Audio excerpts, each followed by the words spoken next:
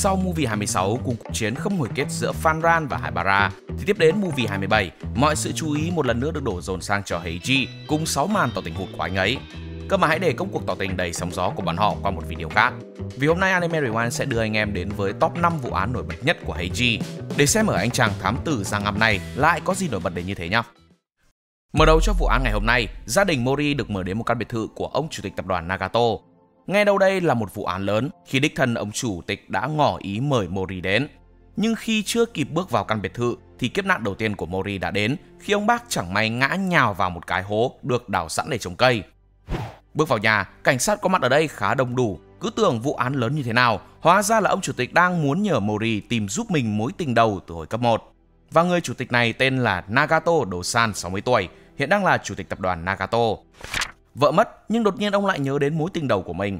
Dù không còn nhớ mặt nhưng Nagato vẫn muốn tìm được người này. Nên trước khi được mọi người giới thiệu đến Mori, ông chủ tịch đã nhờ thư ký của mình là Hyuga Miyuki tìm ra được một vài thông tin cơ bản của người phụ nữ như tên, tuổi. Tuy nhiên, khi đến 34 tuổi, người phụ nữ ấy đột nhiên mất tích một cách bí ẩn. Và người đã chỉ ông Mori cho Nagato lại chính là Heiji, khi cậu nhờ bố mình đang làm việc tại đây giới thiệu Mori cho ông chủ tịch. Từ đó giúp cậu đường đường chính chính gặp được thằng nhóc Conan. Ở đây không chỉ chuyện tình duyên của ông chủ tịch dối rắm mà những đứa con của ông cũng toàn là những thành phần bất hảo. Đầu tiên là Nobuko Nagato, 39 tuổi, là người chị cả. Cô thù ghét ra mặt đối với thư ký riêng của bố khi cô đã mấy ngày nay liên tục kè kè theo bố mình.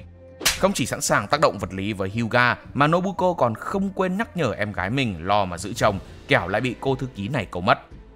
Yasue Nagato, 32 tuổi, con gái út. Mitsuaki Nagato, 36 tuổi, chồng Yasue. Ngoài mặt luôn là dạng chu đáo với ông chủ tịch, nhưng thực chất lại là kẻ luôn làm lè chiếc ghế chủ tịch của bố vợ. Hideomi Nagato, 36 tuổi, là người con thứ hai, vốn có mối quan hệ rất thân thiết với Mitsuaki, nhưng kể từ vụ cháy hồi cấp 3 khiến khuôn mặt anh bị bỏng nặng, thì mối quan hệ giữa hai người cũng bắt đầu trở nên căng thẳng từ đó. Tối hôm đó tại căn biệt thự đã diễn ra buổi lễ sinh nhật cho ông chủ tịch. Do tình hình sức khỏe nên chỉ tổ chức một buổi tiệc nhỏ, nơi gia đình quây quần bên nhau. Nhưng cũng nhân buổi tiệc này, ông Nagato đã công bố việc kết hôn giữa cô thư ký Hyuga và con trai mình, Hideomi. Đồng thời, lý do mấy ngày nay ông chủ tịch cho phép cô ở lại cũng chỉ là để cô quen với nếp sống ở đây. Vốn có mối hiểm khích với Hyuga nên khi vừa nghe tin này, Nobuko liền nổi giận mà rời đi trước sự mỉa mai của Mitsuaki về việc ở tuổi 39 mà cô vẫn còn đang độc thân. Nói đến đây, lấy lý do tìm Hideomi từ nãy đến giờ vẫn chưa có mặt, tên này đã bước ra ngoài để đi tìm anh. Tuy nhiên được một lúc thì Mitsuaki bỗng gọi lại bảo mình đang bị một ai đó trong phòng Hideomi tắt đèn rồi dùng dao tấn công. Ngay đến đây mọi người liền chạy ra ban công nhìn xuống phòng Hideomi thì bất ngờ phát hiện ra khuôn mặt đang cuốn băng giống hệt Hideomi. Miệng còn ngậm một con dao cũng đang nhòi người ra ngoài. Tức tốc, mọi người liền rời khỏi phòng bỏ lại ông chủ tịch cùng cô thư ký để tìm kẻ đó. Do cửa phòng bị khóa nên bọn họ buộc phải đợi ông quản gia lấy chìa mới có thể xông vào. Nhưng khi đến nơi thì mọi thứ đã quá muộn. Mitsuaki đã bị đẩy ngã xuống hàng rào, bị những thanh sắt đâm xuyên người mà chết tại chỗ. Cảnh sát có mặt, bước đầu xác định kẻ bị tình nghi lớn nhất chính là Hideomi, vì trong nhà chỉ duy nhất có một mình anh quấn băng kín mặt. Nhưng cũng vì kín cả mặt nên cũng không chắc đó có phải là Hideomi hay không. Tuy nhiên đến hiện tại vẫn chưa tìm thấy được anh đang ở đâu. Từ sợi dây móc ngoài ban công, có thể tên sát nhân đã trèo qua đó trốn mất trước khi mọi người chạy đến. Không những thế, trên thi thể cũng có một vết thương rất lạ. Ngoài vết đâm sâu 5cm, có thể do con dao mà hung thủ đã ngậm ở miệng gây nên, thì trên mu bàn tay nạn nhân còn có một vết đâm nhỏ hơn nhưng không biết xuất phát từ đâu. Kiểm tra camera từ khi vụ việc xảy ra đã không hề có ai rời khỏi biệt thự như mọi người đã suy đoán. Vậy là có nghĩa tên hung thủ vẫn còn trong nhà. Điều này khiến mọi người hốt hoảng chạy lên phòng ông chủ tịch kiểm tra. Thế nhưng khi đến nơi, ở đây đã có Ran cùng cô con gái lớn đang kể từ khi vụ việc xảy ra. Có vẻ như Nobuko không quá bất ngờ trước chuyện Hideomi giết Mitsuaki. Chuyện xuất phát từ 20 năm trước khi họ vô tình đi ngang qua một nhà trọ bị cháy. Phát hiện có người nên đã nhất quyết nhảy vào cứu mặc cho Mitsuaki ngăn cản. Kết quả khuôn mặt của anh bị bỏng nặng và mối hiểm khích giữa Hideomi và Mitsuaki cũng xuất hiện từ đó. Người mà anh cứu khi ấy lại chính là Hyuga. Về sau Nobuko cho rằng Hyuga khi ấy đã lợi dụng tìm cách tiếp cận em trai mình và rồi giờ là leo lên được chân thư ký của bố cô. Đến giờ lại công bố kết hôn, chúng thực sự khiến Nobuko cái cú. Tuy nhiên khi mọi việc đã diễn ra, ông giám đốc vẫn quyết binh vực cổ thư ký và còn làm chứng cho cô luôn ở đây trong suốt thời điểm diễn ra vụ án.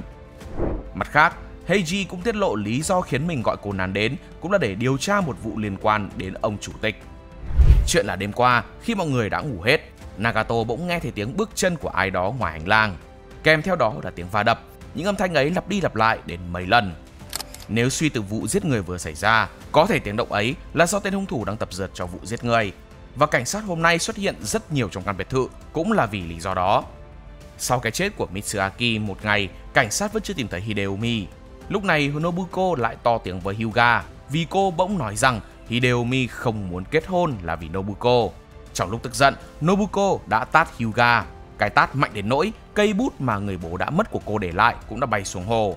Để giúp Hyuga nhặt lại nó, nên phía cảnh sát đã cho rút nước cái hồ thì phát hiện ra cái xác của Hideomi đang nằm ở đó. Cái chết của anh được cho là đã xảy ra sau khi Mitsuaki ngã lầu chết. Có thể là sau khi Hideomi được cho là giết Mitsuaki, anh đã nhảy vào hồ rồi tự tử. Được phát hiện trong hồ nước, nhưng nguyên nhân tử vong lại không phải chết đuối mà là trúng độc. Tuy nhiên dựa vào bức thư tuyệt mệnh mà Hideomi để lại, phía cảnh sát chắc chắn nạn nhân tự tử. Ngoài ra họ còn tìm thấy một đoạn dây diều khoảng 1 mét nằm trong túi áo của nạn nhân đầu tiên. Con dao được cho là đã gây án dù có vết máu khớp với máu của Mitsuaki nhưng lại không hề có nước bọt của Hideomi trên con dao, mặc dù chính mắt mọi người đã nhìn thấy anh ngậm nó trong miệng. Trong khi đó lớp băng và chiếc mũ để lại hiện trường đầu tiên đã được xác định là của Hideomi. Từ những người cảnh gác trước sảnh khi vụ án đầu tiên xảy ra còn cho hay, vào lúc khoảng 9 giờ 30, sau khi một mình Mitsuaki là đi ra ngoài tìm Hideomi thì hầu như không có ai bước ra nữa. Điều đặc biệt là dù phía người gác cổng đã bảo Hideomi vẫn chưa ra ngoài, nhưng Mitsuaki vẫn cố đi tìm gì đó ở đám cây trồng và bồn nước. Không riêng gì Mitsuaki có biểu hiện lạ trước khi bị giết, mà Hideomi trước một ngày xảy ra vụ án, cậu bỗng ăn nhiều đến lạ. Kể cả đồ tráng miệng hay bữa trưa đều được Hideomi ăn sạch, mặc dù trước đó anh rất biếng ăn. Đồng thời phía hồ gái còn cho hay, trước đó một ngày Hideomi chết thì tấm ga giường bị mất. Khi tiến hành lục soát phòng cô ta thì một người đàn ông bỗng gọi đến. Hóa ra Nobuko đang có một mối quan hệ với người đàn ông đã có vợ. Và trong đêm xảy ra vụ án mạng, cô đã trong trạng thái say mềm gọi cho anh ta đề cập đến chuyện kết hôn. Vậy là Nobuko hoàn toàn có bằng chứng ngoại phạm trong lúc vắng mặt. Tiếp đến là phòng Hideomi. Từ cuộc gọi đã được ghi âm biết được, Hideomi đã khâm nộp bản thảo và đúng hẹn ngày 5 tháng 3, tức là trước hôm xảy ra vụ án một ngày, và cũng kể từ đó anh cũng không liên lạc gì với người này mà còn cho anh ta leo cây. Cuối cùng là lục lọi căn phòng của vợ chồng Mitsuaki. Conan và Heiji đã tìm thấy một tấm ga được báo là đã mất bị dính đầy bùn cùng với một cây kim tiêm đang được giấu bên trong bóng đèn. Vậy là mọi thứ đã gần như sáng tỏ. Giờ là đến lượt phá án. Heiji nhờ Ran mua giúp mình vài món đồ trong khi cậu cùng thằng nhóc gây mê ông bác chuẩn bị phá án. Tuy nhiên trước đó, Conan bỗng nhìn vào bình nước gần đấy và hỏi Heiji rằng cậu đã giết người bao giờ chưa? Khi mọi người đến nơi để xem Mori ngủ gật phá án, điện thoại bên cạnh bỗng rèo lên. Đầu dây bên kia là giọng Heiji, nhưng rồi cậu lại hét lên có ai đó đã tắt đèn và tấn công mình, giống y hệt những gì Mitsuaki đã từng nói. Khi mọi người ngó ra ban công thì lại bắt gặp cảnh tượng tên sát nhân cuốn kín mặt ấy xuất hiện. Nhưng thay vì chạy xuống phòng giấy kiểm tra thì Conan đã ngăn họ lại và để mọi người xem tiếp những gì đã xảy ra. Ngay sau đó, tên đeo mặt nạ ấy lại dùng một cái móc để treo ngược lên tầng trên và đó hóa ra lại là Heiji đang đóng vai tên hung thủ. Nếu ứng việc này với hôm xảy ra vụ án, kẻ đã gọi điện và kẻ đã xuất hiện dưới lớp bằng trắng trước mặt mọi người đều là một mình Mitsuaki làm nhằm đổ tội lên Hideomi. Vết đâm trên người cùng vết máu bắn lên lớp băng đều là do Mitsuaki tự tạo ra. Hắn dùng kim tiêm rút máu mình rồi phun lên đó. Ban đầu, hắn làm tất cả việc này là để giết ông chủ tịch. Thế nên ngay khi mọi người chạy xuống phòng dưới kiểm tra tình hình, Mitsuaki từ dưới sẽ dùng dây leo lên, giống hệt cách Heiji đã làm và giết Nagato bằng sợi dây diều chuẩn bị trong túi. Và để làm việc này, hắn ta cần một đồng phạm cho ông chủ tịch uống thuốc ngủ. Tuy nhiên, trong lúc diễn ra kế hoạch, khi Mitsuaki leo lên trên, tên đồng phạm ấy lại không rời đi mà trái lại còn đẩy hắn xuống. Nói đến đây là đã lộ kẻ khi ấy đã ở lại một mình với ông chủ tịch chỉ có Hyuga. Khi đẩy ngã Mitsuaki, cô ta đã kéo sợi dây mà nạn nhân đã leo lên, cầm vật nặng ở đầu kia và quăng nó xuống. Sau đó vật nặng ấy sẽ đập vào ban công rồi dừng lại. Đó là lý do vì sao dưới phòng Hideomi lại có dấu vết lạ. Dấu tương tự cũng xuất hiện dưới phòng Nobuko là do Hyuga đã tập luyện trước đó. Vì thế nên tiếng động mà ông chủ tịch nghe được cũng là do cô làm trong lúc tập dượt. Trong khi đó, Hideomi lại không hề dính dáng gì đến vụ án này vì anh đã chết trước đó một ngày. Chỉ cần nghe lời nhắn nộp bản thảo của Hideomi là rõ. Ban đầu, Hyuga đã dụ dỗ Mitsuaki tham gia vào kế hoạch của mình bằng cách bảo vệ anh rằng mình có một cách chiếm được chiếc ghế chủ tịch, cũng như đổ tội lên hideomi từ đó thành công lôi kéo anh vào kế hoạch.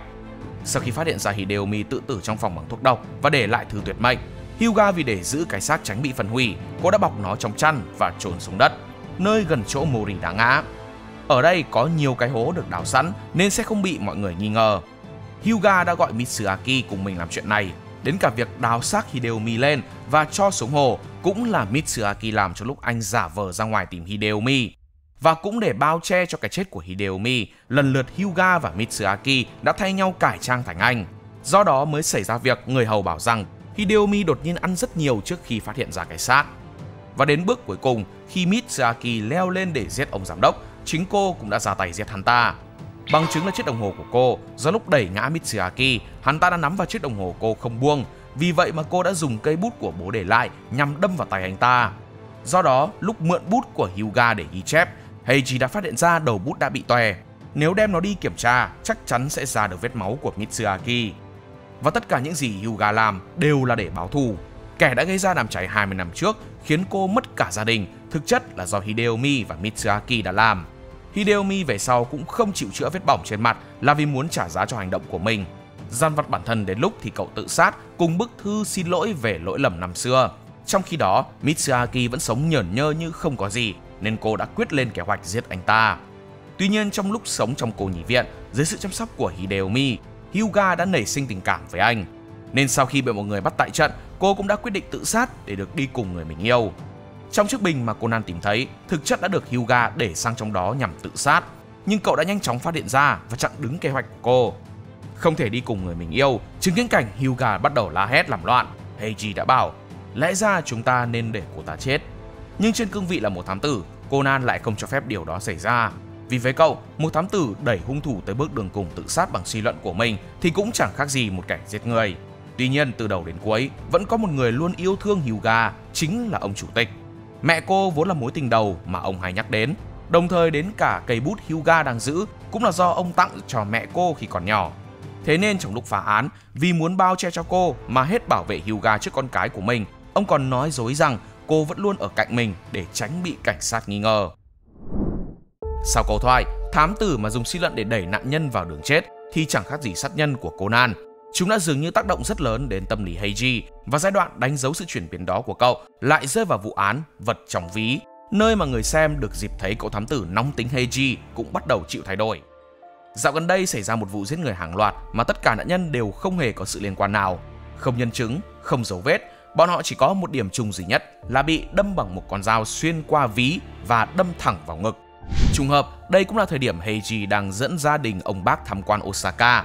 Ngoài khung cảnh đẹp thì vẫn còn một lý do khiến Heiji cứ nặng nặc đòi mời Conan đến đây cho bằng được, còn xuất phát từ một giấc mơ rất lạ, nơi mà Heiji nhìn thấy thằng nhóc bị giết, trong khi cậu truy đuổi tên tội phạm nhưng rồi lại bị hắn đâm cho một nhát dao chí mạng. Do sự bận ăn đó mà Heiji muốn tìm gặp và dẫn Conan đến tham quan Osaka vì ai biết được mình sẽ chết lúc nào. Vốn Heiji có nhờ bố đến dẫn Mori tham quan, nhưng do ông vẫn đang vướng vụ án nên đã cử Sakata, cũng là một cảnh sát đến đây để chở bọn họ đi. Và đặc quyền đi chung với Heiji là gia đình Mori đã có chuyến tham quan Osaka bằng cả xe cảnh sát. Người ngồi ghế trước thì vui, nhưng gia đình Mori ngồi ở phía sau, trông cứ như tội phạm đang bị hốt đi, khiến cho gia đình ông bác ngại đến mức chẳng dám nhìn ra ngoài cửa. Ban đầu cả bọn họ đã đến một vài quán để ăn, nhưng Ran vẫn luôn có cảm giác của ai đó đang bám theo mình. Mãi cho đến khi tới quán Okonomiyaki, người đó hóa ra lại là Kazuha. Cũng kể từ lúc này, Ran đã có cuộc gặp mặt lần đầu tiên với cô. Chuyện là sau khi biết đến tên Kudo, Heiji đã luôn miệng kể về cậu ta trước mặt Kazuha, khiến cô nàng hiểu lầm mà bám theo.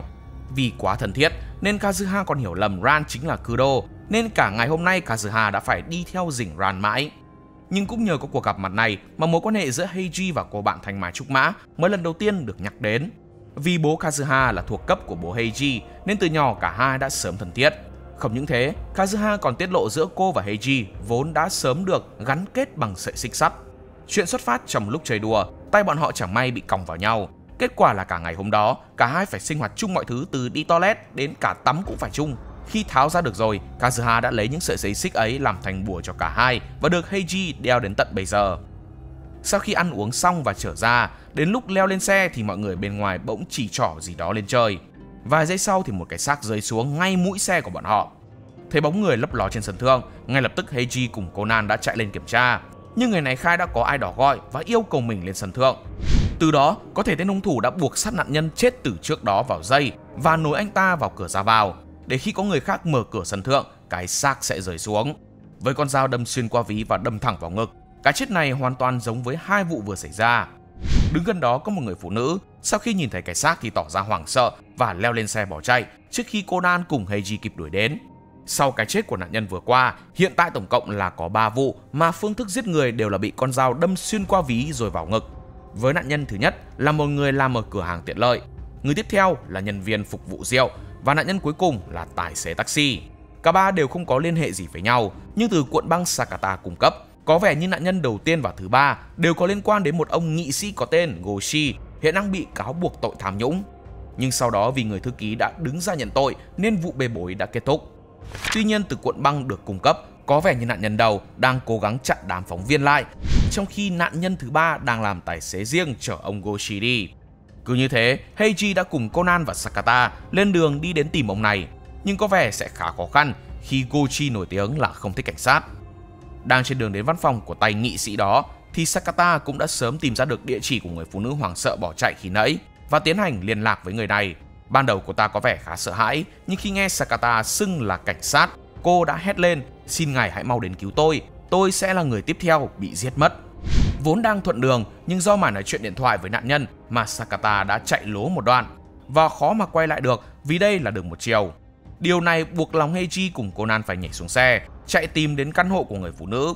Nhưng bọn họ vẫn trễ một bước khi sau đó cô ta được phát hiện là đã chết trong toilet ở dưới sân. Mặc dù trước đó Sakata đã dặn cô phải ngồi trong nhà đợi. Với con dao đầm qua ví rồi ghim vào ngực người phụ nữ này, đích thị là nạn nhân thứ tư trong chuỗi vụ án kinh hoàng. Trong hộp thoại của nạn nhân, lần lượt có hai cuộc gọi đến với nội dung đầu tiên là hãy đến khi Shinsai Bashi, bạn cũ đang đợi cô đấy. Và nội dung thứ hai là nhìn thấy rồi chứ, người tiếp theo sẽ là mày. Cả hai chỉ cách nhau có 2 phút. Vậy có nghĩa là khi nghe được tin nhắn đầu, người phụ nữ này đã chạy đến hiện trường và chứng kiến vụ án thứ ba. Tiếp đến tin nhắn sau, chúng đã khiến cô hoảng sợ mà cầu cứu cảnh sát ngay sau khi Sakata gọi đến. Từ chiếc ví bị đâm vào ngực, phía cảnh sát đã tìm được tất cả đều có điểm chung là từng học chung một trường tập lái. Và không chỉ có bốn người vừa bị sát hại có điểm chung này, mà đến cả nghị sĩ Goshin có mặt ở đó 20 năm trước. Đồng thời ở khóa đó còn có sự góp mặt của một người mà khi nghe xong Heiji cũng giật mình. Đó chính là Numabuchi, một tên giết người vừa vượt ngục. Nói đến đây thì mọi thứ gần như đã rõ ai là kẻ đã gây ra tất cả. Từ nơi tập lái, Heiji mò ra được một vụ án có liên quan đến khóa học năm ấy. Vào ngày tốt nghiệp, người giáo viên đã chết trong một tai nạn ô tô mà nguyên nhân là do say rượu. Vì nạn nhân là giáo viên nên câu chuyện đó đã làm mọi người bàn tán rất nhiều. Từ đó đặt ra giả thuyết, có thể sau khi trốn được ra khỏi tù, Numabuchi đã tìm đến Goshi quyết tống tiền ông. Nếu không bản thân sẽ khui ra những chuyện năm xưa và việc giết những người có liên quan đến khóa học đó có thể là để khủng bố tinh thần Goshi. Sau khi điều tra được việc này, nhóm Heiji và thằng nhóc bị tách ra vì Conan bị Ran bắt về, trong khi Heiji lại quyết tìm ra tên sát nhân. Nhưng biết thừa thằng nhóc sẽ lại mò đi phá án, nên với linh cảm chẳng lành, Heiji liền lấy lá bùa của mình vào, mang vào cho Conan rồi rời đi. Vốn là về nhà Heiji, nhưng xe chở Conan bỗng phải bẻ lái khi nghe tin đã tìm thấy xe của Numabuchi đang đỗ gần đó. Ở ngôi nhà sâu trong rừng, cảnh sát quả thực đã tìm thấy tên này trong bộ dạng bị còng vào một cái cột nhà. Sau khi cởi được cái còng đó, bọn họ tiến hành dẫn Numabuchi về đồn, nhưng giữa đường hắn lại trộm được một con dao gần đó mà tấn công Ran. Conan nhanh trí lấy thân mình đỡ cho cô mà khiến con dao đâm vào bụng. Sau đó nhờ Kazuha quật ngã Numabuchi mới tạm thời chế ngự được hắn. Conan ăn một nhát dao chí mạng nhưng vẫn bình an do lá bùa có sợi xích đã đỡ mũi dao ấy lại cho cậu. Nhưng khi nhìn vào chiếc còng tay của Numabuchi có từ trước, cậu như vỡ ra lẽ gì đó và nhìn vào tấm hình chụp những người học cùng khóa lái xe và nhận ra một khuôn mặt rất quen. Và ở bên này, có vẻ như Heiji cũng đã nhận ra được điều đó, nên khi trong lúc chờ được gặp Goshi, cậu đã bỏ xuống nhà kho. Trong khi đó, phía ông nghị sĩ cũng nhận được cuộc gọi điện thoại của tên hung thủ và yêu cầu được gặp Goshi tại nhà kho để nói chuyện về món nợ 20 năm trước. Tuy nhiên, có vẻ như Heiji đã đến sớm một bước và chặn đứng kế hoạch của hắn. Kẻ đó đâu xa, hóa ra lại là Sakata, người cảnh sát mà đã đi theo bọn họ suốt ngày hôm nay. Đầu tiên là vụ án thứ ba, khi cố ý sắp xếp mọi người đến quán ăn mà mình đã chọn. Đợi khi tất cả ăn xong và chuẩn bị lên xe một lần nữa, Sakata đã gọi cho người đàn ông chủ phòng trà lên sân thượng mở cửa, khiến cho cái xác mà anh sắp đặt sẵn rơi trùng vào mũi xe thu hút sự chú ý. Lợi dụng lúc Heiji chạy lên sân thượng kiểm tra, Sakata lại một lần nữa gọi đến cho nạn nhân thứ tư, yêu cầu bà đến hiện trường và chứng kiến mọi việc. Ngay khi thấy bà ta xuất hiện, anh đã nhắn tin thứ hai thông báo người tiếp theo mình sẽ giết là bà ta. Sau đó khi lên xe để đến văn phòng của tên nghị sĩ, Sakata đã gợi ý gọi điện cho cô. Lợi dụng lúc tâm lý cô ta đang hoảng sợ, người phụ nữ ấy đã kêu cứu khiến mọi người tức tốc chạy đến hiện trường. Nhưng một lần nữa, anh lại cố tình chạy lố nơi nạn nhân ở, buộc lòng Heiji cùng Conan phải xuống xe và tự chạy đi. Nhân cơ hội đó, Sakata cho xe đậu ở một con hẻm, rồi cũng xuống xe và gọi cho nạn nhân, lấy danh nghĩa là cảnh sát, yêu cầu cô xuống gặp mình ở toilet và giết cô. Để mọi người tin khi ấy Sakata đã đánh xe chạy một vòng, anh đã sớm chuẩn bị một chiếc ô tô giống hệt và đậu gần đó. Nhằm khi gây án xong, hắn sẽ leo lên chiếc xe ấy và vờ như mình vừa chạy đến. Để tóm được Sakata, Heiji đã phải dựa vào chiếc gương chiếu hậu ngoài. Khi cả hai lần lên xe, cậu đã chú ý nó có hơi khác. Không những thế, Sakata luôn chỉnh gương chiếu hậu mỗi khi lên xe, hệt như thói quen của các nạn nhân. Và bằng chứng cuối cùng đã tố giác anh. Đó chính là khuôn mặt của Sakata giống hệt với người thầy đã dạy khóa học 20 năm trước, chẳng may bị tai nạn. Nói đến đây, Sakata đã không chối bất kỳ thứ gì, nhưng anh đã hướng mũi súng vào thái dương mình như thể đã sẵn sàng chết. Khoảnh khắc này y hệt về vụ trước, nơi tên hung thủ sẵn sàng dùng xăng để tự tử. Nhớ đến câu nói của thằng bạn và cũng vì để làm tròn vai trò của một thám tử, Heiji đã lao đến cản đường súng của Sakata. Kết quả một viên đạn trúng trần anh, một viên trúng bụng Heiji và cuối cùng là trúng vào bình xăng khiến nơi này phát nổ. Trong biển lửa, tên hung thủ đã thú nhận, người thầy 20 năm trước là bố anh. Vốn là một người cực kỳ cẩn thận nên không lý nào lại mất lái do say rượu. Khi gia nhập ngành cảnh sát và bắt được Numabuchi, vì trông Sakata rất giống bố nên tên này vì hoảng sợ mà đã thú nhận mọi thứ. Tất cả chuyện này đều là do bọn họ năm xưa đã nghịch ngu bằng cách chuốc rượu cho ông thầy say rồi tháo cạn dầu thắng. Tất cả chỉ vì muốn xem ông sẽ xử lý như thế nào, do đó mới gây ra vụ tai nạn. Chuyện đã xảy ra 20 năm, khi đó thời hạn hiệu lực của một vụ giết người chỉ là 15 năm. Vì vậy Sakata giờ đây phải tự mình đại diện cho công lý bằng cách giết chết bọn họ báo thù cho bố. Nhưng có lẽ kể từ cái khoảnh khắc anh muốn tự tử bằng súng, sau những gì đã làm thì Sakata đã không còn xứng đáng với vai trò là một cảnh sát của mình nữa rồi. Công lý đến muộn nhưng sẽ không bao giờ vắng mặt. Ngay sau đó tên còn sống cuối cùng là Goshi cùng cho nghịch ngu hại chết người thầy năm xưa giờ đây cũng đã bị tóm dù đã 20 năm trôi qua. Trong khi đó, dù bị ăn một viên đạn, tuy nhiên tình hình của cậu vẫn không có gì quá nghiêm trọng. Nhưng cái cách Heiji thể hiện thì lại làm Kazuha lò sốt vó.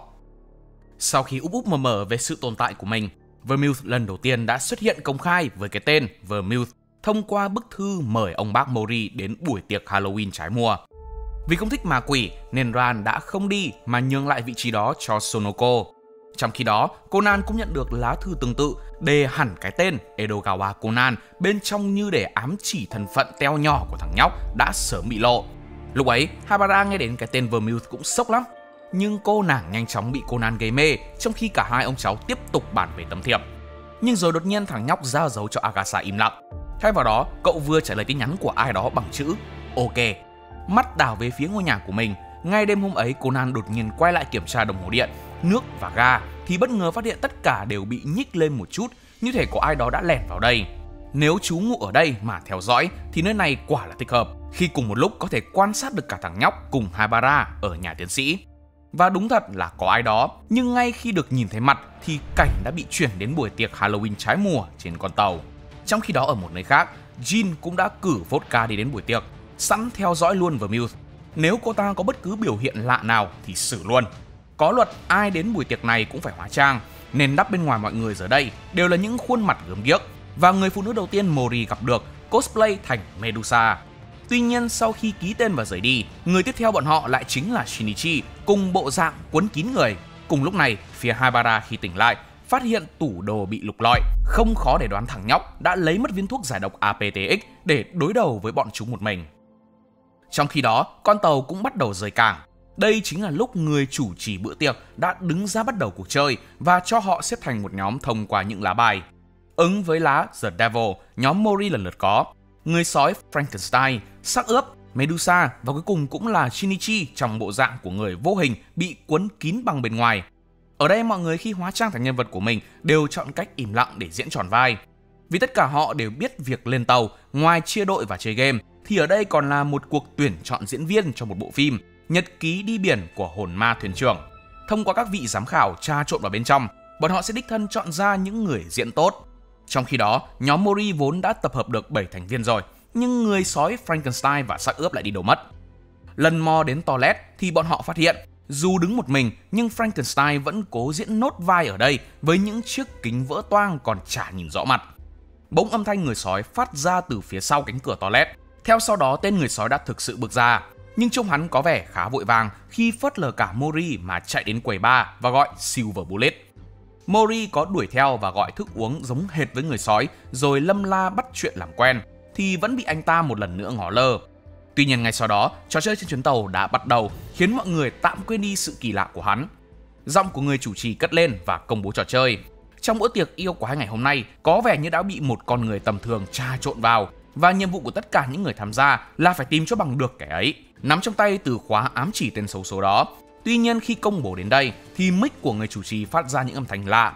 Sau đó hắn ta nhòi người ra khỏi bục và ngã vào đám dây thừng, Đến khi mọi người lôi ông ra được đó thì người chủ trì ấy đã chết với cây cung xuyên qua lá bài The Devil và đâm thẳng vào tim. Nạn nhân là nhà sản xuất phim nổi tiếng, được chú ý từ bộ phim Ngày 13 Phật Diệt. Vốn rất thích làm thuyền trưởng nên năm nào ông cũng đóng vai ấy trong buổi tiệc trên con tàu.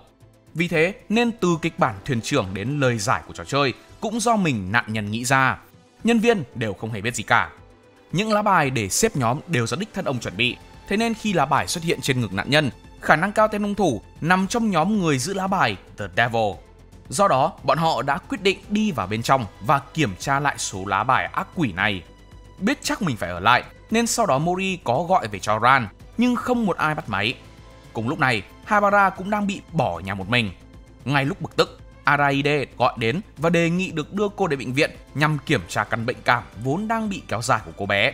Lúc ấy, Habara đã đồng ý, thế nhưng cuối cùng người đến đón cô lại là Jody. Lấy cớ xe của bác sĩ bị hỏng giữa đường, do đó Araide đã nhờ cô đến chở hộ. Do dự một lúc thì Habara cũng chọn cách thỏa hiệp. Tuy nhiên khi leo lên xe, từ gương chiếu hậu cô lại nhìn thấy bác sĩ đang lái xe bám theo sau. Truyền cảnh lại đến tình hình trên con tàu. Mori trong lúc lục soát đã tìm được người đánh mất tấm thẻ bài The Devil. Đó chính là sạc ướp. Khi bị ông bác Mori dồn vào đường cùng, người này ngay sau đó đành thừa nhận mình là thành viên đoàn làm phim. Không chỉ anh ta mà những xác ướp khác cũng như thế. Họ đảm nhận vai trò làm theo mọi yêu cầu của ông thuyền trưởng, từ cách ăn mặc đến ăn uống, tất cả phải đúng theo những gì ông ta dặn. Đã thế, họ cũng chính là người đảm nhận vai trò thông báo kết quả của người tham gia về cho ông. Trong khi ông bác còn đang đứng phán bừa thì Shinichi trong lớp băng trắng đã bắt đầu đi mọi ngóc ngách để điều tra. Từ nơi ông thuyền trưởng ma tử vong đến nhà vệ sinh lúc phát hiện người sói có biểu hiện kỳ lạ, Cuối cùng là nơi nạn nhân đang ngã xuống. Shinichi bỗng tìm thấy một con gà trống. Ngay lập tức, mọi thứ đã sáng tỏ. Cậu bật mic và bắt đầu chỉ điểm những lập luận ngờ nghệch của ông. Dưới ánh trăng và đứng trên bong tàu, từng lớp băng trắng được kéo ra, hé lộ khuôn mặt Shinichi của cậu. Dưới sự xuất hiện của cái tên Shinichi, mọi người được một phen bàn tán và đồng thời đây cũng là lúc ta biết được tên Vodka đang cải trang thành quỷ nhập tràn. Từ đó, hắn âm thầm chuyển thông tin về cho đại ca của mình Hung thủ thực sự của vụ này chính là tên người sói, nhưng lại không phải là người sói mà Mori đã nhìn thấy lúc bước ra từ toilet, mà gã đã phớt lờ ông bác khi ấy lại là xác ướp. Đầu đuôi phải là như thế này. Ban đầu người sói đã đứng đợi sẵn trong buồng chờ xác ướp đến và bước vào buồng bên cạnh. Lợi dụng khe trống dưới của vách ngăn giữa, hắn đã dùng kim tiêm để phun thuốc mây sang và ước lượng thời gian xác ướp ngất đi, hắn mới lẻn sang tiến hành đội mặt nạ sói của mình lên nạn nhân và lấy luôn cả thẻ bài của anh. Vì bản chất sắc ướp là phải cuốn băng kín cả mặt, nên khi bị đội thêm một cái mặt nạ khác bên ngoài thì nạn nhân cũng sẽ không thể nhận thức được. Và tên người sói phá hỏng hết gương trong toilet cũng là vì mục đích khiến xác ướp không thể nhìn rõ mặt của mình. Người có thể làm chứng cho việc này chính là Frankenstein, khi anh này ngay từ đầu đã biết xác ướp chính là người của đoàn phim. Thế nên Frankenstein mới theo chân anh ta vào tận trong toilet và diễn tròn vai của mình. Do đó, khi Mori bước vào mới nhìn thấy cảnh anh đang lầm lì một mình Tuy nhiên sắc ướp bước vào buồng, đến khi đi ra lại là người sói. Nhằm tránh để mọi người khi bắt chuyện với sắc ướp đang trong bộ dạng người sói, hung thủ đã gắn một chiếc loa sau mặt nạ và máy ghi âm để theo dõi động tĩnh. Chỉ cần ai tiếp cận hắn sẽ bật âm thanh sói chu, khiến nạn nhân lầm tưởng đối phương đang nói chuyện với người sói bên cạnh mình. Vì vậy mà khi đuổi theo, nạn nhân đã không hề trả lời mà đáp lại ông bác chỉ là tiếng sói chu. Và lý do khiến nạn nhân sau khi tỉnh lại trong toilet và hốt hoảng chạy ra ngoài đến quầy bar là vì trước đó đã được người thuyền trưởng giao nhiệm vụ. Trong lúc diễn ra trò chơi, anh buộc phải đến quầy bar và yêu cầu loại Silver Bullet. Từ con gà Shinichi tìm được, đó chính là thứ mà ông thuyền trưởng dự định sẽ gợi ý cho mọi người. Và theo kịch bản, ông sẽ xuất hiện và cầm dốc ngược con gà. Gà trống là cock, đuôi là tail. Ngày xưa người ta hay trộn các loại rượu với nhau và khuấy lên bằng lông đuôi gà trống. Do đó mới có cái tên cocktail. Từ đó gợi ý đến món mà sắc ướp đã được ông thuyền trưởng yêu cầu uống là Silver Bullet.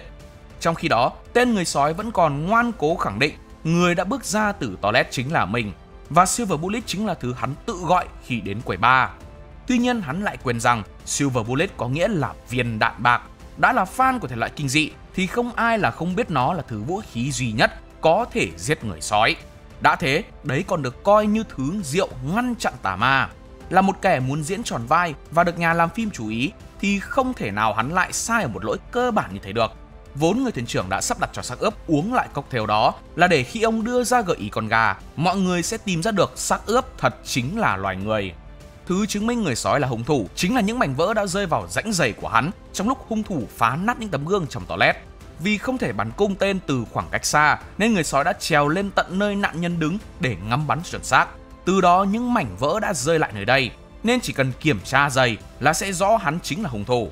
Đến khi bị kết tội và không còn đường lui, bỗng người sói mới hét lên và đổ tội cho người mà hắn gọi là con quỷ. Vốn xuất phát từ việc ông thuyền trưởng cũng là nhà sản xuất phim Phật Diệt mà hắn rất yêu thích. Nay lại kết thúc series đó mà chuyển sang loạt phim về thuyền trưởng ma lửa trẻ con. Là một fan trung thành, anh đã không chấp nhận điều này và ôm hận ông đạo diễn. Sau đó anh đã đăng một bài viết với nội dung muốn giết ông đạo diễn lên một web sát nhân và có một kẻ đã chủ động nhắn tin với hắn, sẵn sàng bày cách cho tên người sói giết người cũng như đưa sẵn hung khí cho anh. Ban đầu vì sợ nên người sói đã từ chối.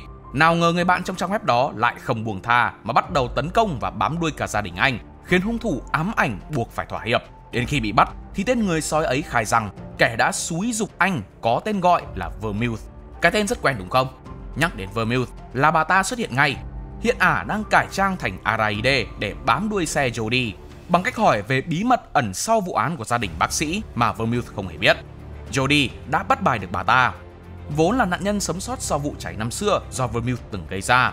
Jody được đưa vào chương trình bảo vệ nhân chứng của FBI và trở thành điều tra viên. Khi Vermouth bắt đầu quay trở lại Nhật, Jody cùng đồng nghiệp của mình đã tiến hành đột nhập vào nơi bà ta sống và đoán được hầu như là mọi dự định của Vermouth.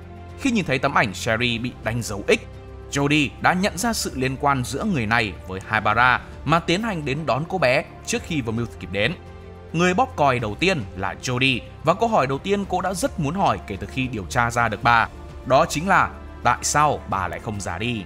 Đối với 20 năm trước, khi Vermouth giết cha cô, đến lúc gặp lại bà ở lễ tang mẹ mình, khi ấy Vermouth đã thực sự đóng hai vai là mẹ và cô. Thế nhưng đến hiện tại, Vermouth vẫn không lão hóa.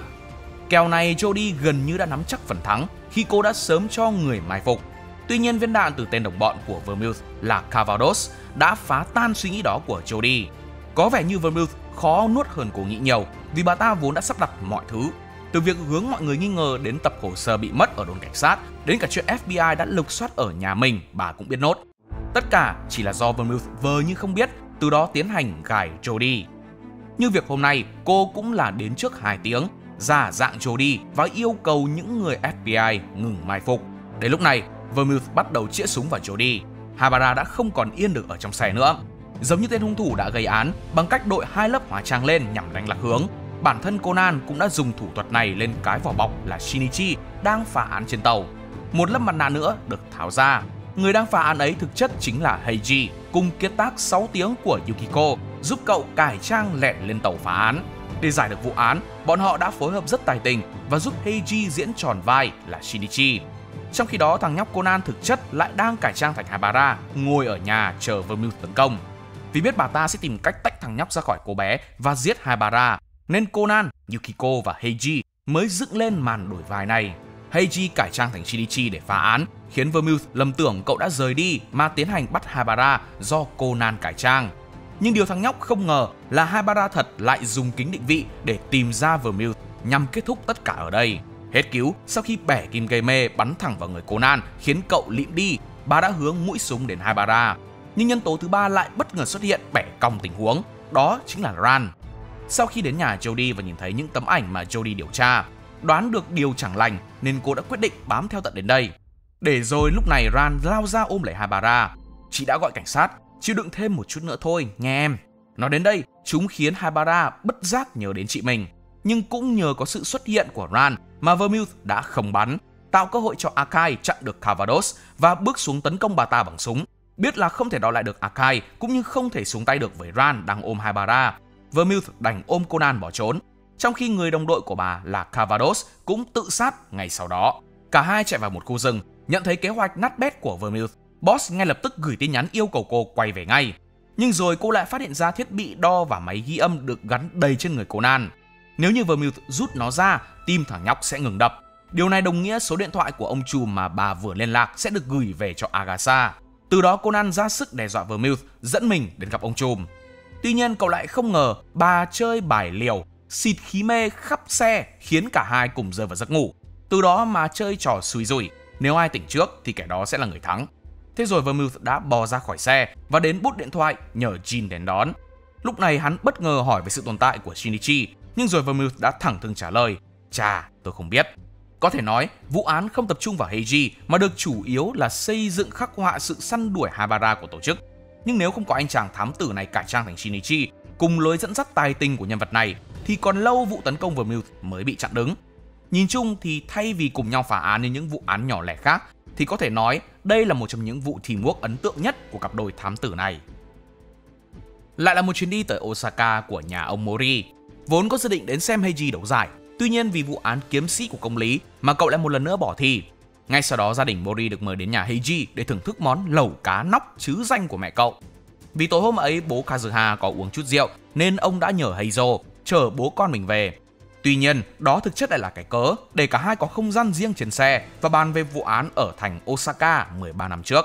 Khi đó, xác một người chết cháy được tìm thấy trong tường thành. Trong túi nạn nhân tìm được mảnh gốm. Từ mảnh gốm này, phía cảnh sát khi ấy đã không điều tra được gì. Đó là cho đến khi xuất hiện một mảnh nữa từ một cái xác chết cháy khác được tìm thấy ở di tích ngoài phía đông thành. Và chuyện Toyama muốn nói với Heizo cũng là việc này khi ông cho điều tra thì phát hiện cả hai mảnh gốm đều được làm cùng một thời. Đã thế miếng sau còn có chữ 848. Thoáng qua có vẻ giống với suy luận của bọn họ 13 năm trước. Chắc nó vẫn còn nằm yên ở đâu đó. Và nó là thứ mà được Heizo nhận xét bảo vật quý hiếm. Chuyên cảnh đến sáng hôm sau, trong khi Heiji đang muốn dẫn mọi người đến tòa nhà đằng trước thành Osaka, trụ sở cảnh sát phủ Osaka, thì cả đám có chạm mặt một nhóm tham quan khác. Bọn họ lần lượt là Arihiro Kasuya, 64 tuổi, Toshiaki Fukushima, 32 tuổi, Katagiri Maho, 39 tuổi và cuối cùng là Shigehiko Wakisaka, 35 tuổi. Tất cả đều quen nhau qua Internet, cùng hâm mộ Hideyoshi nên bọn họ đã tự hẹn nhau đi đến những địa điểm lịch sử ở Osaka.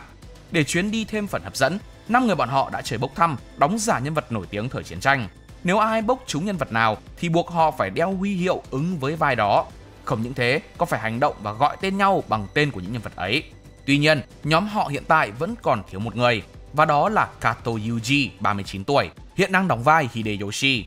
Anh mất tích cũng đã được một lúc, nhưng đến khi tìm ra thì người đàn ông này hiện đang trèo lên tận nóc lầu Osaka và bốc cháy ở đó, rơi xuống đất. Đến khi chạy đến thì cái xác cũng đã đèn thui. Nạn nhân chỉ kịp cầm vào cái ô như muốn ra hiệu gì đó rồi cũng tắt thở. Trong khi Mori vẫn đang tháo tháo bất tuyệt rằng đây là tự tử, thì Conan và Heiji đã sớm chạy đến hiện trường để điều tra và phát hiện ra chiếc bật lửa đang được đặt ngay ngắn tại đó. Vì trời có mưa nên nếu theo lẽ thì dưới cái bật lửa sẽ để lại vết hình chữ nhật. Nhưng khi nhấc chiếc bật lửa lên thì phía dưới lại có hình quạt. Dường như vụ lần này có liên quan đến 13 năm trước khi trong người nạn nhân tiếp tục tìm được mảnh vỡ cùng với một cuộn giấy đã bị cháy quá nửa có ghi chữ rồng ở trong. Do trong cuộc trò chuyện giữa Toyama và Heizo trên xe, Kazuha ngồi phía sau chỉ ra vờ ngủ Thế nên cô đã nghe được kho báu mà họ nói từ vụ án 13 năm trước. Vì thế nên gặp vụ này, cô liền ngay lập tức cung cấp thông tin cho Heiji. Tuy nhiên cậu có vẻ vẫn còn khá đau đầu đến việc nạn nhân cầm vào chiếc ô trước khi chết. Nhưng chiếc ô có thể suy ra được mưa, mà ở lầu Osaka thì chỉ có thể là đá bạch tuộc và đá rồng hổ. Vì người ta cho rằng khi mưa hình rồng và hổ sẽ hiện ra. Và đây được xem như thần canh lâu đài ở hai bên cạnh Sakura. Từ đó gợi ý trực tiếp đến việc phải thấm ướt cuộn giấy để tìm kiếm mật mã. Ở trong chữ thì bị cháy hết rồi, chỉ còn lại một cái hình giống như bầu rượu, biểu tượng của Hideyoshi. Thông qua đây dẫn đến gợi ý những mảnh vỡ chính là một phần của bình rượu. Vốn được biết đến, Hideyoshi mỗi khi thắng trận lại đính thêm một bầu rượu nhỏ vào, nên có thể thứ kho báu họ đang phải tìm là số vàng cất trong một chum gồm 1.000 bầu rượu. Có cuộn giấy mang chữ rồng, rồi thì chắc chắn phải có phần còn lại mang chữ hổ, chỉ vị trí của bầu rượu. Nói đến đây có vẻ như nhóm người từng đi chung với nạn nhân, tất cả bọn họ đều có mục đích chung là hướng đến kho báu. Nhưng thay vì share thông tin cho nhau thì bọn họ lại có xu hướng muốn tự xử và tách riêng ra, không chủ động khai báo những gì mình biết. Trong khi đó để muốn Heiji có nhiều thông tin điều tra, Kazuha còn đích thân gọi bố mình đến để hỗ trợ cậu. Nhưng khi ông vừa có mặt nghe thấy giọng nói quen thuộc, Toyama liền thì thầm nhờ Otaki giúp mình điều tra kẻ đó. Mặt khác Kazuha lại cùng Ran quyết định đi ăn, bỏ lại hai tên thám tử đang mê phá án quên cả cơn đói. Tuy nhiên khi trở về, cả hai lại bất ngờ phát hiện ra Katagiri đang tự thiêu mình ở lan can rồi nhảy xuống dưới. Sau đó cô ta cũng chết do vết thương ở đầu. Có thể nạn nhân lúc nhảy xuống đầu đã đập vào hòn đá bên dưới mà tử vong. Với những gì Ran cùng Kazuha chứng kiến, hoàn toàn chứng minh được khả năng Katagiri đã tự tử. Tuy nhiên, Heiji lại không chấp nhận điều đó và làm xáo trộn hiện trường để chứng minh đây là vụ giết người. Cảnh sát không thể cản cậu nên Heizo ngay khi xuất hiện đã đấm cho thằng con mình tỉnh ra. Ông cho rằng Heiji đang bị quá đà và những gì cậu làm là cản trở. Việc được mọi người tung hô là thám tử đã khiến Heiji tự ảo tưởng bản thân và cú đấm Heizo dành cho cậu con trai là để cậu không liên quan thì biến đi. Ngay sau khi nghe kết luận từ ông thanh tra và cả hai vụ đều là tự tử, Heizo đã cùng Toyama rời đi vì cho rằng nơi đây chỉ cần 2-3 thanh trà là đủ. Cảnh sát bọn họ không có thời gian quan tâm đến những vụ nhỏ nhặt này. Nhưng trái với những gì Heizo nói, sau khi bị đấm, Heiji cũng thêm quyết tâm tìm ra được sự thật. Lý do khiến cậu chắc chắn như vậy xuất phát từ những vết nhỏ dính máu trên áo nạn nhân. Đây có thể là vết máu của Katakiri lúc bị đập vào đầu đã bắn lên người hung thủ. Từ người hắn nó lại dính lên áo cô khi hắn kéo xác Katagiri dậy. Từ xác nạn nhân còn tìm thấy mảnh gốm và một bức ảnh chụp 5 người, trong đó là Katagiri, Kato và một người đàn ông tên Hirano, người vốn cũng sẽ tham gia chuyến đi này nhưng cuối cùng vì việc cấp mà hủy kèo. Lúc này mọi thông tin vẫn còn đang rối rắm, chẳng đâu vào đâu. Nhưng ngay sau khi nhìn thấy chiếc ô của Ran bay lên, chúng đã khiến khuôn mặt của Heiji cùng Conan thay đổi. Tuy nhiên thay vì phá án, thì bọn họ lại kéo nhau đi theo dõi ông Arihiro, bám theo ông ta đến tận nhà kho cũ mà không hề biết rằng theo sau mình là một băng đảng cũng đang rình bọn họ. Vừa bước vào trong, Conan đã bị ai đó tóm đi mất. Vì nghĩ thằng nhóc mắc tỏ lét nên Heiji đã quyết định một mình đi vào trong mà không đợi Conan. Ở đây Arihiro gặp Wakisaka. Sau lời chỉ dẫn ông đến một cái hộp, vì trời quá tối nên hắn ta đã yêu cầu Arihiro hãy bật đèn pin bên cạnh lên. Nhưng tất cả đã bị Heiji ngăn lại vì nếu ông mà bật nó lên, Arihiro chắc chắn sẽ bị cháy đen giống hệt hai vụ án vừa xảy ra. Wakisaka là hung thủ. Hắn dẫn dụ con mồi bằng cách chỉ cho họ vị trí cuộn giấy hổ thứ được cho là sẽ dẫn đến kho báu, nhưng đều dụ bọn họ đến tìm vào trời tối. Mục đích là khiến con mồi phải bật đèn pin mình đã đặt sẵn ở đấy. Từ chiếc đèn pin phát nổ, hung thủ đã khiến con mồi chết do cháy. Hình quạt mà Conan tìm thấy ở hiện trường đầu chính là vết của cái đèn pin mà về sau bị chiếc bật lửa che đi một nửa nên mới có hình như vậy. Đến phiên Katagiri, hắn cũng dùng cách tương tự mà dụ cô đến cây cầu. Từ đó Wakisaka bất ngờ tấn công phía sau và đổ xăng lên Sako. Tiếp đến hắn mặc đồ giống hệt nạn nhân để đợi khi có ai bước sang cầu sẽ đóng giả làm Katagiri rồi tự thiêu. Tất nhiên để không bị cháy tóc, hắn đã mặc sẵn bộ đồ bơi bên trong. Do đó ở phía áo nạn nhân có dấu vết lạ là do trong khi bế, phép mơ tuyệt trên áo lặn và huy hiệu trò chơi giả thành nhân vật lịch sử của hung thủ đã vô tình in dấu lên đó. Từ đó chỉ cần kiểm tra trên chiếc huy hiệu ấy, hung thủ sẽ lộ ngay. Nói đến đây Wakisaka đành cúi đầu nhận tội, lý giải cho tội ác của mình tất cả đều là để báo thù cho ông cậu. Chính là người đàn ông già nhất trong bức ảnh được tìm thấy ở xác Katagiri. Vốn trước đây tất cả bọn họ đều truy tìm kho báu của Hideyoshi, nhưng rồi ông Wakisaka đột nhiên ngừng lại và đem đòi cuộn giấy cho nhà nước. Tất nhiên, điều này đều bị mọi người phản đối. Thế nên 13 năm trước, ông ấy đã đến Osaka để thuyết phục bọn họ và không bao giờ trở về. Cái xác chết cháy ở trong lâu đài 13 năm trước chính là của ông Wakisaka. Do khi chết, ông vẫn giữ kín cuộn giấy nên đến bây giờ bọn họ vẫn chưa tìm ra được nó. Vì thế khi truy tìm manh mối báo thù cho ông, Wakisaka chỉ cần dùng cuộn giấy hổ là đã có thể dẫn dụ bọn họ lọt bẫy. Tuy nhiên cậu vẫn gặp một vài khó khăn như ông Arihiro, vì hắn đã sớm phẫu thuật thẩm mỹ thay đổi hình dạng. Nhưng việc Arihiro phẫu thuật thẩm mỹ còn có một lý do khác. Nói đến đây, ông ta giơ súng lên và đàn em của hắn cũng ập vào.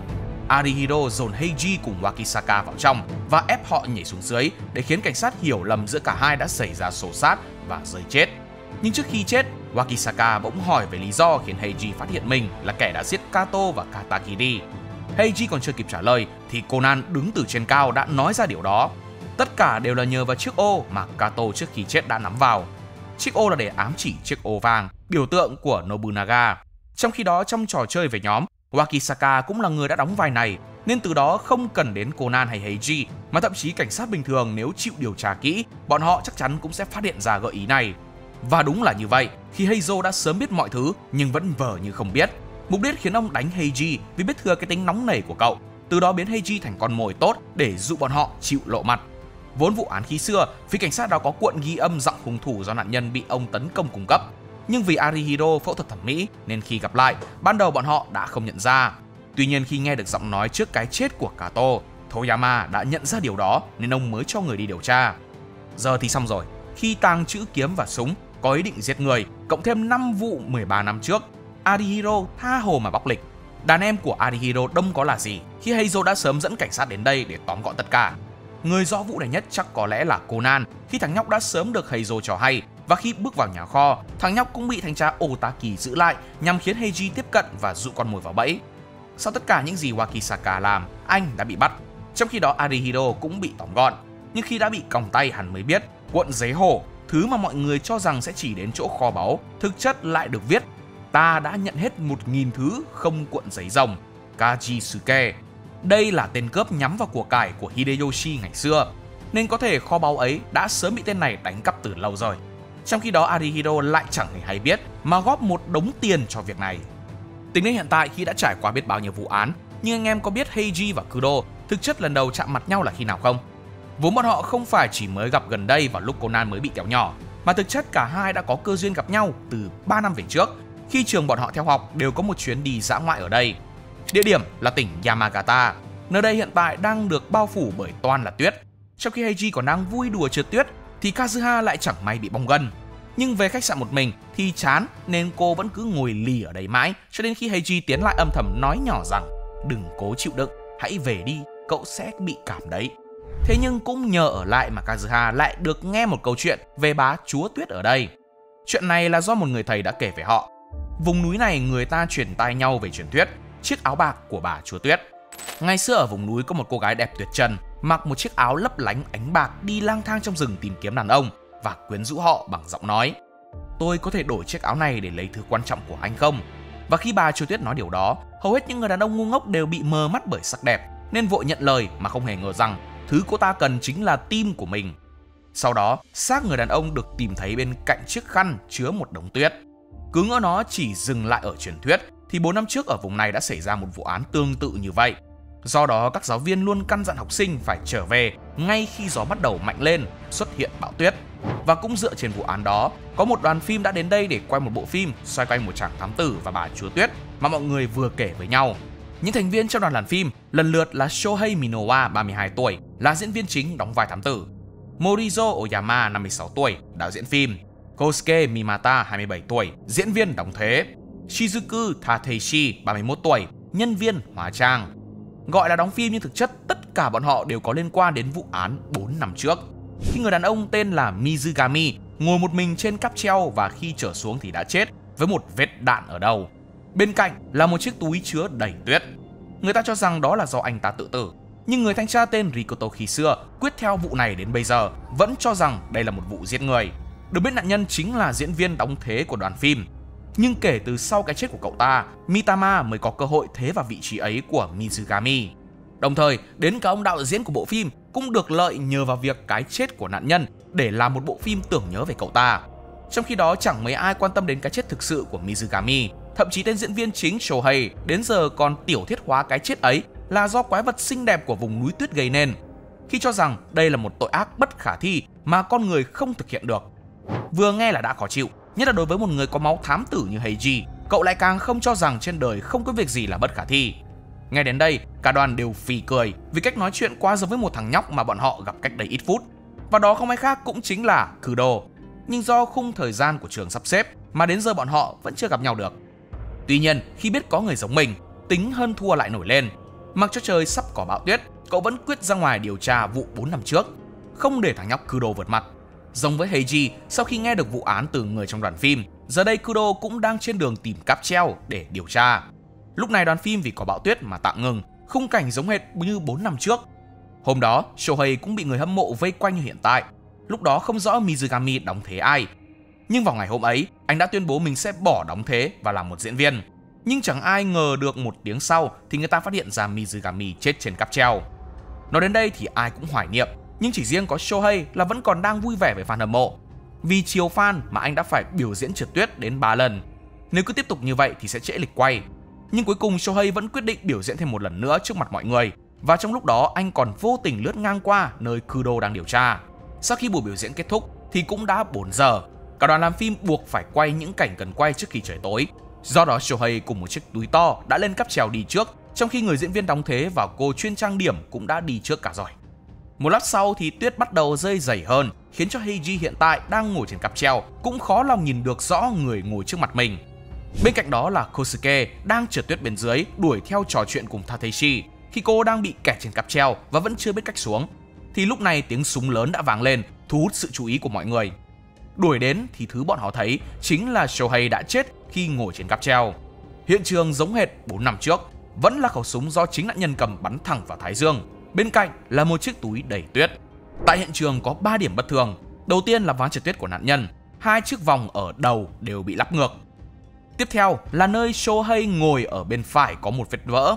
Cuối cùng là chiếc túi đựng đầy tuyết bên cạnh nạn nhân. Và ba đặc điểm này vừa nhìn, Heiji cùng Kudo liền nhận ra, nhưng chỉ tiếc là họ lại không có duyên gặp nhau. Thế nhưng thằng nhóc Kudo lại gặp được mẹ Heiji khi bà cũng đã đến đây chăm chú ghi hình lại cậu con trai. Vì muốn điều tra vụ 4 năm trước, nên trước đó Heiji đã nhờ mẹ mình hãy quay lại cảnh mọi người lên cáp treo. Để rồi trong lúc điều tra, Kudo đã xin phép được xem ké đoạn video ấy để nắm rõ thứ tự người lên cáp treo cũng như vị trí ngồi của họ. Trong khi đó, Yusaku và Yukiko cũng đang có mặt ở đây. Vốn ông định đến đây viết tiểu thuyết dựa trên vụ 4 năm trước, nhưng khi vô tình gặp phải vụ án, ông liền biết ngay ai là hung thủ. Tuy nhiên ông vẫn quyết quan sát bọn trẻ học cách phá án. Nhưng để gợi ý cho vợ, Yusaku đã kể cho cô nghe về một truyền thuyết khác về bà chúa tuyết. Và một đêm rông bão có một người đàn ông tên là Mochiko xuống núi, về nhà thì vô tình phát hiện một người phụ nữ đang bị trẹo chân giữa rừng. Không đi được nên cô đã nhờ người đàn ông cõng mình về. Vì tốt bụng nên anh đã đồng ý mà không ngờ rằng đó chính là bà chúa tuyết đang dụ con mồi đi vào rừng để nuốt linh hồn họ khi đối phương kiệt sức. Tuy nhiên dù tuyết có rơi ngày một dày và đi ngày một sâu vào rừng, nhưng Mokichi vẫn ân cần hỏi cô có lạnh không, giỏ có chật không, cô có đói không. Ban đầu cô gái chỉ vâng, nhưng giọng cô gái ngày càng yếu đi và không còn nghe thấy gì nữa. Lo lắng, Mokichi đã nhìn vào bên trong giỏ và cô gái ấy đã biến mất. Và thay vào đó là một chiếc áo bạc quấn quanh đống tuyết. Hóa ra trái tim ấm áp của Mokichi đã làm tan chảy cả sự lạnh giá của bà chúa tuyết. Quay trở lại với Kudo, hiện tại cậu đang ngồi nghiên cứu về những video trượt tuyết trong bộ phim của Shohei và so nó với những gì mình đã thấy trước khi có án mạng. Rõ ràng là cách trượt của anh ta có vấn đề. Đã thế khi soi kỹ một cảnh trong phim của Shohei, Kudo có phát hiện ra anh ta đã dùng đóng thế trong phân đoạn trượt tuyết. Tuy nhiên điều này vấp phải sự phản đối của Sonoko khi chính cô đã quay lại tân tật tật đoạn Shohei đã trượt tuyết vào chiều nay. Thế nhưng sự chú ý đều đổ dồn vào chiếc túi của nạn nhân khi mà trước lúc trượt tuyết, Shohei đã đặt nó trước mặt các fan của mình và còn bảo trong túi có thứ quan trọng nên nhờ họ trông giúp. Và khi tìm đến quầy lưu niệm, đúng là bọn họ có bán lại túi này thật. Nhưng khi Heiji kịp đánh hơi đến thì Shinichi cũng đã điều tra qua cả rồi. Và thậm chí cậu còn tìm ra được vật đã phát ra tiếng súng mà hung thủ đã chuẩn bị bằng cách cho pháo vào chai nhựa rồi để vào cái hố và châm lửa khiến nó bay lên nổ, tạo ra âm thanh như tiếng súng. Trong khi đó, Heiji lại vô cùng bực tức vì bị một thằng nhóc thám tử khác dẫn trước Giờ thì cũng sắp tối, nếu như hung thủ bị thả ra, chắc chắn hắn sẽ tiêu hủy chứng cứ. Do đó mẹ cậu đã buộc phải gọi đến cho chồng ở sở cảnh sát, nhờ ông đưa ra gợi ý cho con trai. Và khi nghe được mọi chuyện, ông đã nói, mưa chỉ có thể tạo thành giọt nước, nhưng tuyết có thể tạo thành người tuyết. Nếu đó là băng, thì nó có thể tạo ra con voi khổng lồ, đừng để bề ngoài bị đánh lừa. Và tất cả đều được mẹ cậu thuật lại. Đúng với kỳ vọng khi nghe câu này, Heiji liền sáng dạ hẳn. Cậu chính thức phá được vụ án và tìm đến tận nơi để vạch mặt hung thủ. Đồng thời phía Kudo cũng đã có kết quả khi vừa nghe Yukiko kể về câu chuyện bà chú tuyết mà Yusaku nói. Nhưng đến không kịp nên cậu đã dùng điện thoại để phá án. Sự thật rằng cả bốn người ở gần nạn nhân đều khó lòng mà bắn được Shohei trong tình trạng tuyết rơi dày như lúc xảy ra vụ án. Tuy nhiên nếu thực sự là nạn nhân ngồi cáp treo một mình, trước khi trượt tuyết biểu diễn trước fan và leo lên cáp treo, thực chất trong suốt quá trình đó, Shohei đã trốn trong một chiếc túi to được tìm thấy ở hiện trường. Trong khi tên hung thủ lại đóng giả làm anh bằng cách đội mũ đeo kính, rồi cuối cùng là trượt tuyết trước mặt fan. Để trông như thật, nên khi trò chuyện với fan, Shohei trốn trong túi đã trả lời mọi người, trong khi kẻ giả danh anh nhép lại. Và điều khiến một kẻ như Shohei phải chui vào túi là vì anh ngạo mạn. Chuyện xuất phát từ đoạn phim trượt tuyết của anh đã nhanh chóng trở nên viral sau khi được công chiếu. Vốn khi ấy Shohei bị đau chân nên cảnh đó được một tay đóng thế khác vào diễn. Nhưng vì trượt giỏi mà đoạn phim đó trở nên nổi tiếng. Kể từ đó, mọi cảnh trượt tuyết của Shohei đều là của diễn viên đóng thế làm. Và Kudo cùng Heiji đã phát hiện ra điều này là do sự thay đổi trong trang phục của cùng một cảnh diễn của Shohei. Từ đó khi gặp fan và bị họ nài nỉ, anh đã chui vào chiếc túi và để người khác đóng giả mình trượt tuyết biểu diễn cho họ xem. Và người đóng thế đó không ai khác ngoài Kosuke. Khi biểu diễn xong, hắn ta trong bộ dạng là Shohei mang chiếc túi chứa nạn nhân đi lên cáp treo. Ở đó hắn lôi đầu Shohei thật ra và bắn vào đầu anh, để lại vết xước trên cáp treo. Tiếp đến, hung thủ đã lấy thi thể ra khỏi túi và cho cầm khẩu súng như thể nạn nhân đã tự tử, trong khi bản thân mình cầm túi không nhảy xuống. Và để đặt chiếc túi đầy tuyết bên cạnh, Kosuke đã chuẩn bị sẵn nó ở nơi cách cáp treo 3 mét. Sau khi giết nạn nhân, hắn đã lắp ngược gậy trượt tuyết cùng một chiếc túi khác có dây treo đã đóng băng nhằm kéo chiếc túi đầy tuyết lên.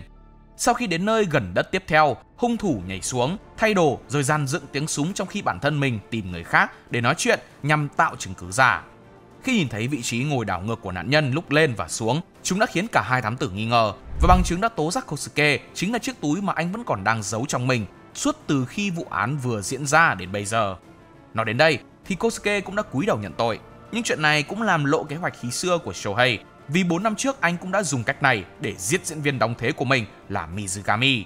Khi cũng với cách thức tương tự là để người đóng thế trượt tuyết trước mặt fan và Shohei trốn trong túi. Nhưng ngay khi vừa chui ra được, Shohei là người trong túi đã chĩa súng vào Mizugami. Lý giải cho hành động khi đó, hắn đã từng thừa nhận bản thân sợ sau khi Mizugami trở thành diễn viên. Đến lúc không kiếm ăn được, chắc chắn sẽ quay lại vạch mặt mình, nên Shohei khi xưa đã giết Mizugami. Cuối cùng mọi chuyện đến chính ông đạo diễn cũng đã sớm biết, nhưng vẫn mong Shohei quay đầu nên ông đã quyết định dựng lên bộ phim này. Ấy vậy mà nó lại khơi mào cho một vụ khác. Tính đến lúc phá án xong, cả Heiji và Kudo đều cùng một lúc đưa ra suy luận nhưng khi trở về tuyết rơi quá dày mà một lần nữa họ lại lướt qua nhau. Tuy nhiên linh cảm của một thám tử đã mách bảo họ, khiến cả hai đều cùng một lúc cảm nhận được sự tồn tại của đối phương. Và đó cũng chính là vụ án khép lại top 5 vụ án nổi bật của Heiji. Ngoài những vụ trên, còn vụ án nào nổi hơn mà chúng mình đã chưa nêu ra hay không? Hãy bình luận xuống phía bên dưới nhé. Nếu thấy hay, nhớ để lại một like và một share để ủng hộ chúng mình. Đừng quên bấm nút subscribe để thêm nút chuông thông báo và đăng ký cả hội viên để không bỏ lỡ những video hấp dẫn phía sau. Cảm ơn các bạn đã xem video. Hẹn gặp lại trong những video tiếp theo. See ya!